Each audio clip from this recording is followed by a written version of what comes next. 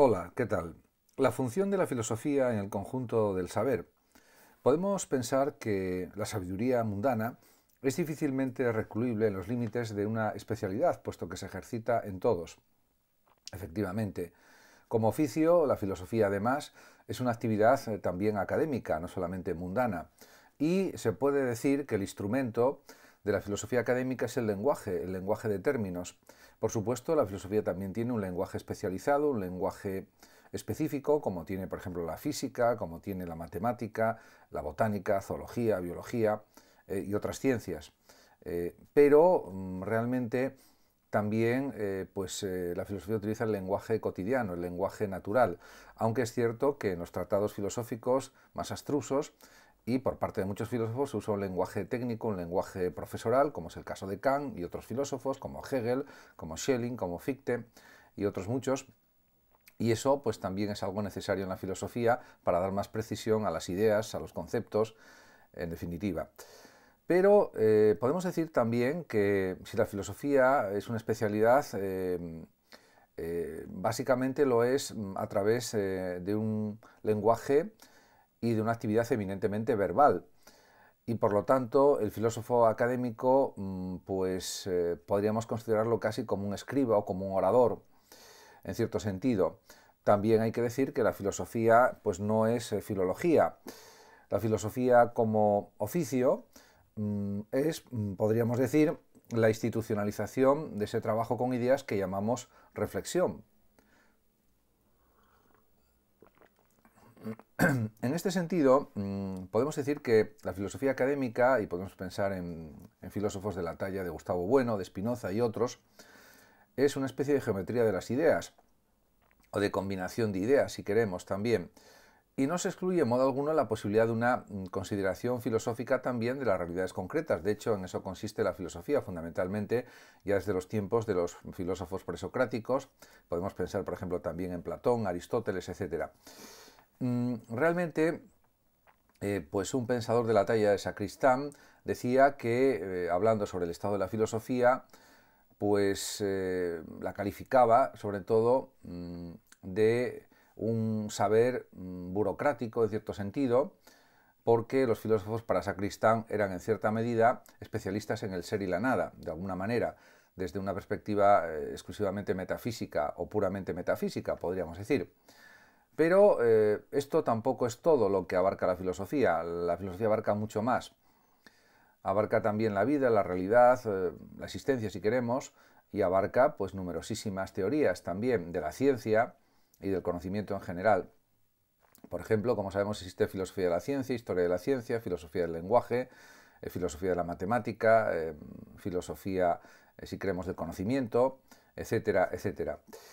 Mm, realmente Sacristán decía que había que retocar el plan de estudios, la supresión de la especialidad en filosofía, se refería más bien a la universidad, pero mm, yo creo que eso es desacertado, porque si se eliminara la especialidad en filosofía en la universidad, eso sería perjudicial para los estudiantes, eh, por ejemplo, de enseñanza media, que quieren hacer una carrera en filosofía, eh, que quieren ser filósofos o que quieren aprender eh, las grandes teorías de los grandes filósofos y eso pues sería algo negativo. Eh, diríamos que es una especialidad que tiene que seguir existiendo, no solamente en la enseñanza media, también en primaria tendría que haber más filosofía y en la universidad tendría que haber también más filosofía, porque es una actividad que hace pensar, que hace reflexionar, que hace entender y que sobre todo aumenta los conocimientos de las personas que la cultivan. También podemos decir que hay filosofía de la literatura, filosofía eh, del arte, etcétera, que son especialidades también eh, o subespecialidades pues muy interesantes. En cuanto a Gustavo Bueno, eh, en la pregunta cuál es la función de las ciencias de la filosofía, eh, pues da distintas respuestas desde su materialismo filosófico, pero más bien lo entiende la filosofía, desde mi punto de vista, como una crítica, una trituración de ideas, de contenidos, de conceptos, diríamos que extrayendo lo fundamental de las ideas de los conceptos, eh, sin eh, intermediaciones de lo sobrenatural, de lo trascendente, porque la filosofía materialista de Bueno es atea, aunque el mismo Gustavo Bueno se considere pues un eh, ateo católico, y es una buena definición, porque él, por supuesto, investigó en el animal divino y en otros escritos y a través de sus enseñanzas en la universidad sobre lo que es el fenómeno religioso. y lo que implica en muchos sentidos y cuál es el origen de la religión, etc. Pero eso es una cuestión y otra diferente es eh, pues considerar que mm, lo espiritual tiene una existencia real o física o material. Eh, por otra parte, eh, también mm, pues, la argumentación es otra de las herramientas fundamentales de la filosofía, también lo reconoce el propio José Sacristán. Y bueno, el propio Sacristán, que era un gran filósofo, hace unas críticas internas a la filosofía, dice que no es un saber sustantivo, eh, la filosofía ha pasado a ser un saber adjetivo, como un saber generalista, eh, eh, no como por ejemplo la matemática, la física o la química, por ejemplo, que son más bien las ciencias duras. Y em, pues em, también mm, pues, siguen esta línea de, pensamiento que a mi juicio es errónea, es equivocada, porque mm, hoy precisamente lo que más se necesita es una visión de conjunto de muchas ciencias, de muchas áreas, de muchos conocimientos. De todas maneras, su pensar es respetable, lógicamente, mm, pero en mi caso no lo comparto. En cuanto eh, pues a, la filosofía, siguiendo un poco eh, cuestiones sobre su definición, eh, pues es, es, una actividad de ideas histórica, pero no es un simple concepto histórico categorial. ya que podemos decir que solo puede haber filosofía en el marco de una organización totalizadora. En este sentido, mm, diríamos, mm, la filosofía es un saber compartido. Eh, podemos decir que mm, como forma de conciencia no es una ocurrencia individual, como en el caso de Tales de Mileto o de otros filósofos presocráticos, sino que está incardinada en un progreso de las ciencias. No hay que olvidar que los primeros presocráticos eran eh, fundamentalmente también científicos, matemáticos, astrónomos, etc y, eh, por tanto, la construcción de ideas está integrada en un conjunto mm, de conceptos ya existentes, eh, de pensadores anteriores, etc., y se forma una comunidad mm, de pensamiento filosófico, aunque luego eh, los sistemas filosóficos propios de cada filósofo sean independientes en cierto sentido, porque también están dependiendo de la tradición filosófica en la que se han inspirado podríamos decir, o, a la que han eh, contribuido también a crear con sus propias obras. Eh, por lo tanto, mm, diríamos que la filosofía trata de la construcción de conexiones de ideas, eh, pero mm, también hay una crítica constante de esas ideas nuevas creadas. en definitiva, mm, la filosofía podemos decir que también es la dirección del pensamiento, eh,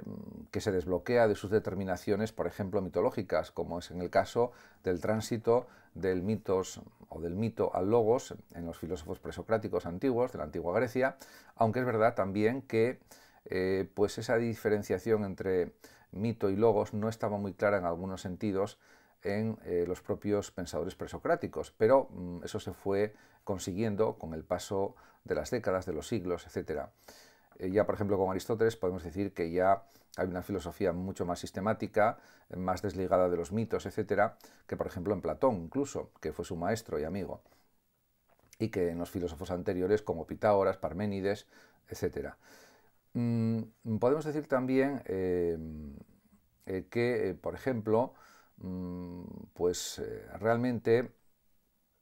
la filosofía eh, trata también de sistemas filosóficos que se han desarrollado a lo largo de los siglos. Podemos pensar en el sistema atomista, en el sistema hegeliano, en el sistema kantiano, el sistema de Schelling, eh, en el sistema de Fichte,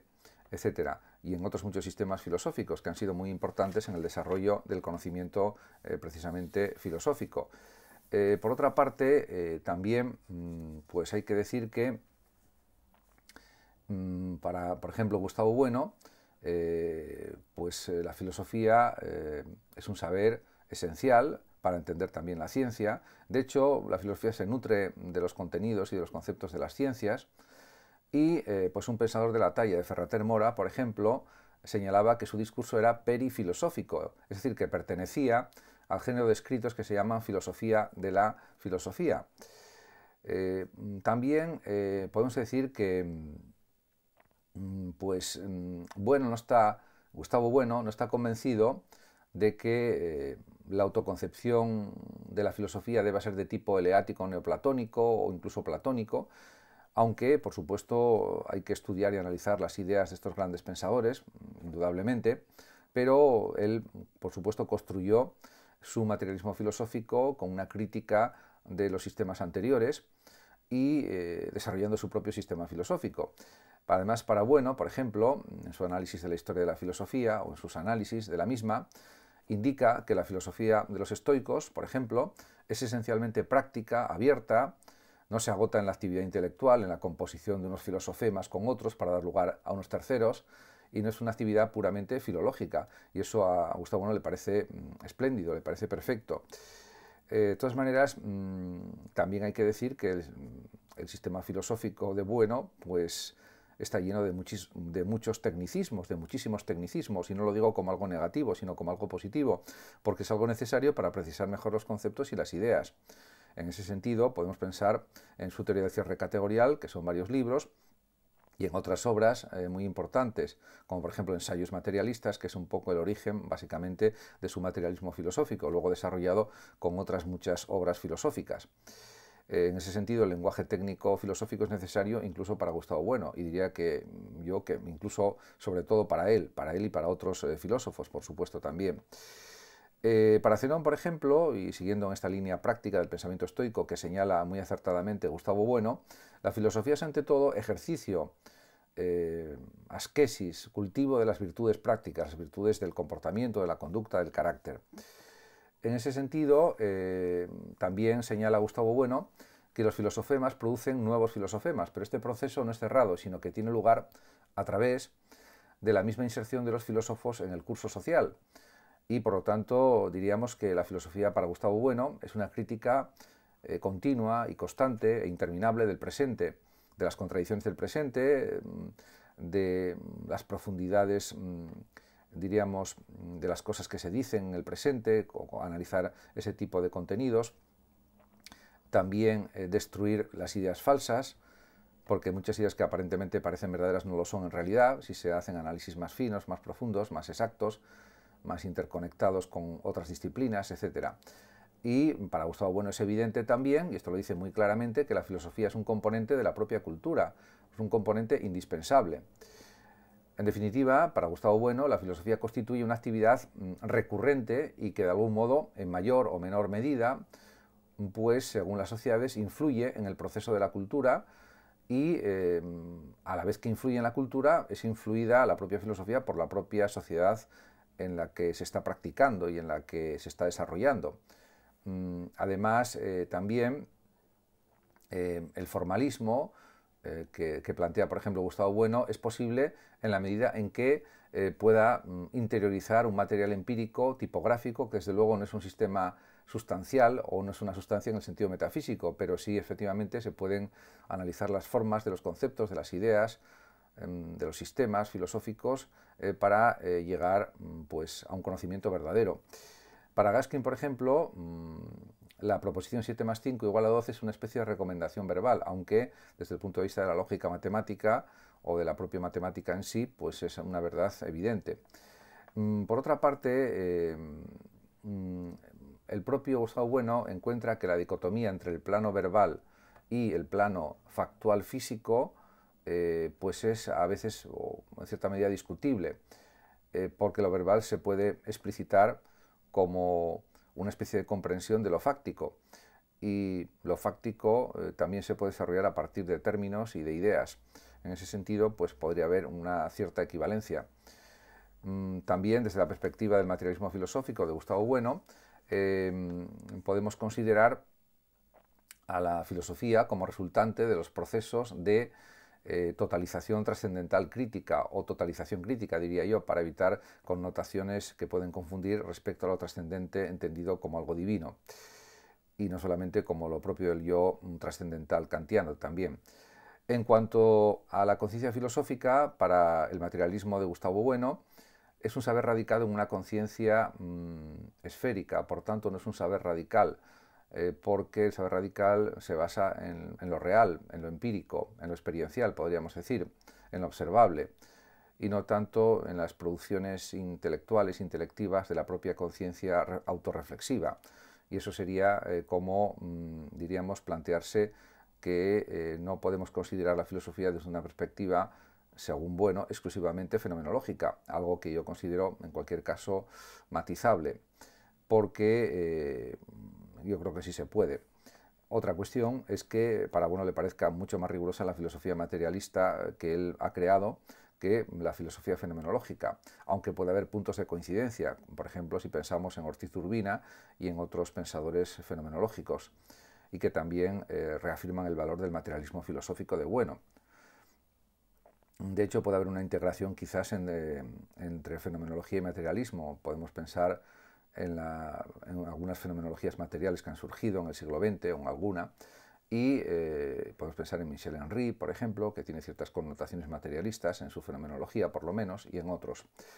Eh, para bueno, está claro que los filósofos eh, pues elaboran o fabrican, por decirlo de una forma más, más clara, libros o discursos, pero eso no es solo la única tarea de la filosofía.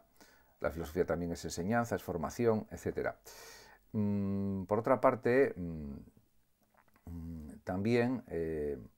el filósofo, pues eh, diríamos que intenta entender la realidad, intenta entender a los demás, intenta entender eh, las filosofías de otros pensadores también, por supuesto, e intenta crear su propia filosofía. Y eh, también considera Gustavo Bueno muy acertadamente que la filosofía no es pues una actividad mental puramente meditativa, y sobre todo mm, hay un aspecto que es fundamental señalar o indicar y es que eh, es evidente, y no solamente lo dice Gustavo Bueno, lo dicen otros muchos filósofos, prácticamente todos, la imposibilidad de pensar al margen del lenguaje. La filosofía es una actividad lingüística fundamentalmente. En ese sentido se parece pues, a la literatura, a la filosofía,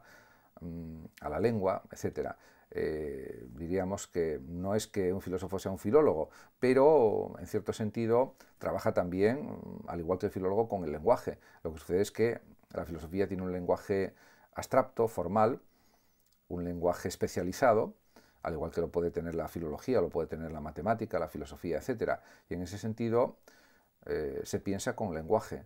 tanto lenguaje hablado, lenguaje verbal, como lenguaje escrito. Y eh, también podemos decir que la filosofía, y eso también lo señala el propio Gustavo, no tiene problema en indicarlo, que la filosofía, es un trabajo con palabras, es un trabajo lingüístico, eso es indudable. Eh, aunque también matiza, bueno, que la filosofía no es filología, porque eh, realmente no trata de aspectos así muy detallados o muy especializados de los fonemas, de los sonidos, de las palabras, de, la gramática, de la sintaxis, de la morfología, sino que eh, mm, realmente trata de crear sentidos, significados con los términos filosóficos, y con las proposiciones filosóficas y, por supuesto, eh, el propio Gustavo Bueno reconoce que la filología es mm, pues una, disciplina indispensable en el trabajo filosófico, pero eso no quiere decir que la filosofía sea filología, ni mucho menos. Eso también hay que señalarlo muy claramente. Eh, podemos decir que la filosofía se aproxima, incluso desde la perspectiva del materialismo de Bueno, a la retórica, a la poesía, y eh, pues eh, en ese sentido mm, es una actividad, pues insisto, lingüística. Pero, por supuesto,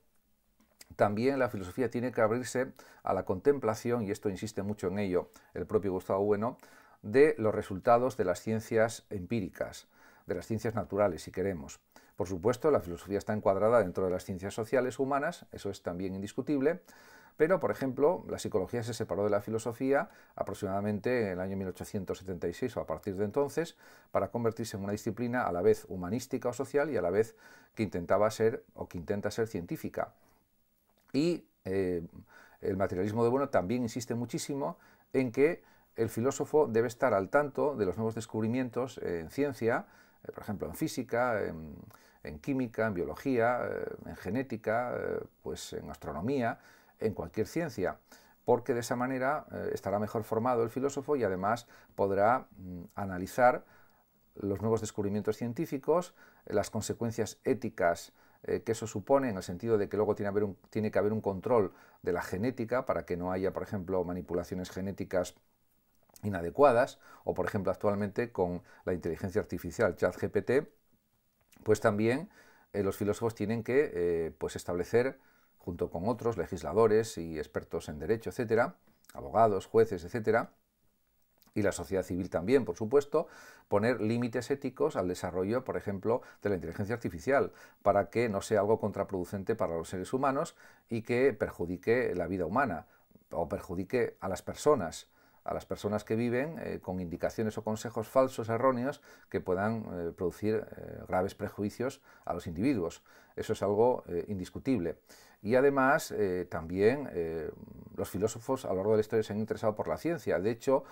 muchos filósofos lo eran y a la vez eran científicos. Estamos, se puede pensar, por ejemplo, en el caso de Leibniz, en el caso de Newton, en el caso de Galileo, que era filósofo del duque de Toscana, aunque fundamentalmente era profesor de matemáticas y matemático y físico, eh, podemos pensar también en otros eh, grandes pensadores como Pitágoras, que era matemático y filósofo a la vez, Platón también eh, cultivó la matemática, etcétera, etcétera. En ese sentido, mm, la unión entre filosofía y ciencias tiene que ser lo más estrecha posible, lo más profunda posible, porque eso beneficia a todos. Muchas gracias mm, por su atención a todos los que me están viendo y escuchando. Saludos también a los oyentes de Radio Sofando de México y hasta mi próximo vídeo.